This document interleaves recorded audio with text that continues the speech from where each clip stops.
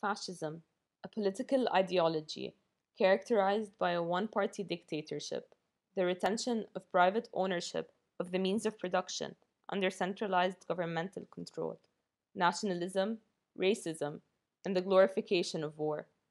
The homeland of fascist ideology was Italy, and it was led by Benito Mussolini.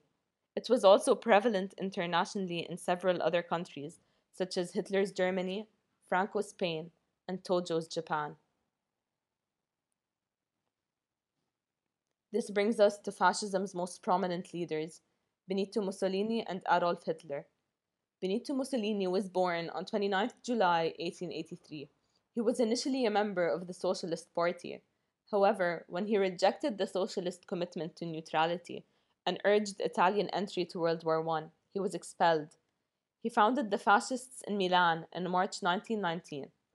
With no clear goal in mind other than self advancement, Mussolini led his fascists on an ultra nationalistic course. They remained on the political periphery, however, until he led his march on Rome, where the black shirted paramilitary street gangs called the Squadristi established the fascists as the most important political party in Italy. This succeeded, and Mussolini was later named prime minister. Adolf Hitler was born on April 20, 1889. He was a soldier in World War I after which he returned to Munich, where he immersed himself in radical politics. In 1919, he joined the Nazis, a party adopted as an ultra nationalistic program that denounced both the Treaty of Versailles and the Weimar Republic. Two years later, he emerged as its leader. In 1924, Hitler led a failed coup d'etat and was imprisoned. He was released from jail later that year, the Nazis gained popularity when the Great Depression struck Germany in late 1929. When the economy collapsed, the Germans, who weren't entirely content with the Democratic Republic, turned to political extremism, granting the Nazis power in the Reichstag. Consequently, Hitler was named Chancellor in 1933. How did this seemingly oppressive regime gain power? Well, coming out of World War I, Europe was in economic turmoil and poverty rose among the distressed citizens, leading to the popularity of extreme ideologies as a way out of their dire state. In addition to that, Italy and Germany were devastated by the results of the Treaty of Versailles. On the one hand, Italy fought with the Allies and didn't get a share of the land they won. On the opposing end of the Versailles Treaty was Germany, who was forced to concede territories and demilitarize the Rhineland the War Guilt Clause, its mandatory reparation payments, and the limitations on the German military were particularly burdensome in the minds of most Germans, and the revision of the Versailles Treaty represented one of the platforms that gave radical right wing parties in Germany, including Hitler's Nazi Party, credibility to mainstream voters in the 1920s and early 1930s. Promises to rearm, to reclaim German territory, particularly in the east, to remilitarize the Rhineland and to regain prominence again amongst the European and world powers stoked ultra-nationalist sentiment and helped average voters to overlook the more radical tenets of the Nazi ideology.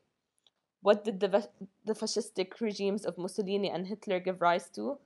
Well, Hitler achieved notable economic and diplomatic successes during the first five years of his rule. He substantially revived the economy, Unemployment, so pivotal in bringing him to power, had dropped from 6 million to 1 million in less than five years. This was at a time when the US was still wallowing in the Depression. National production and income also doubled.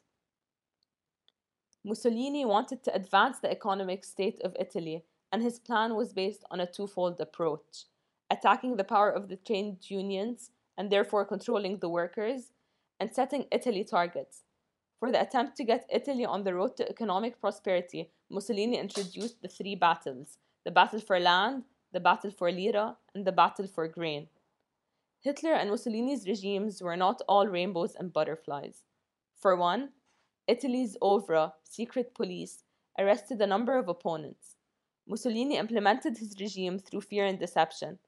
Both Hitler and Mussolini censored and controlled the radios and the newspapers. In addition to that, Hitler's racist approach led to the Holocaust, one of the biggest crimes of our time. However, it was not until 1938, after Mussolini had moved close to Hitler, that the Italians also began to discriminate against the Jews. Fascism did not decline until World War II. In 1938, Mussolini created an alliance with Hitler and in 1940 made a decision to start a war against Britain and France. Italy, however, was not ready for war. Three years later, Italy started to suffer from food shortages and began to lose almost every battle. As soon as King Emmanuel was back to power, Mussolini was jailed. He was released two months later. He then made an agreement with Hitler to set up a new regime known as the Italian Social Republic that was nothing more than a Nazi puppet state. In 1945, Mussolini was executed, and this was the fall of fascism in Italy that created even more economic frustration during World War II. Nazism in Germany did not fall until their ultimate defeat in World War II.